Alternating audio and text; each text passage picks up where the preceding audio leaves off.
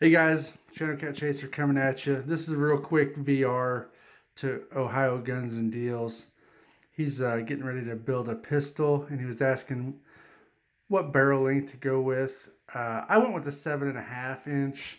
This is a Seekins uh, seven inch, I think it's a seven and a half inch rail or eight inch. I'm not sure.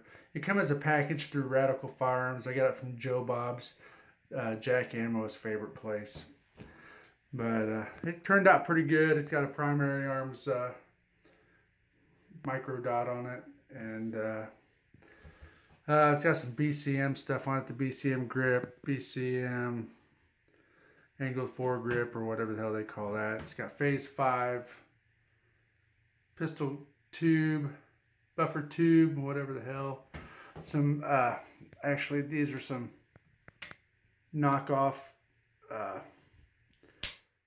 Magpul Pro sights or whatever.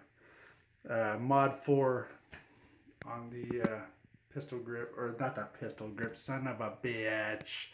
It's the charging handle, but uh, yeah, and that's some Seekins stuff. Seekins, the Gucci shit, like Jack Ammo likes the Gucci, Gucci, Gucci. But uh, yeah, but that's it. Had it Cerakoted, and that's uh, tungsten gray, I think turned out pretty awesome. I don't haven't shot it a lot, but it is. It may not be as reliable as like a 10 inch or something, but I didn't want a long ass barrel and no stock. So, and I don't like that that gay ass brace, you know, and fags are putting on their fucking pistols. But yeah, that's just me. I don't go for that bullshit. Yeah. Anyway, you know, man up and put that bitch on your cheek and uh, yeah, go for it.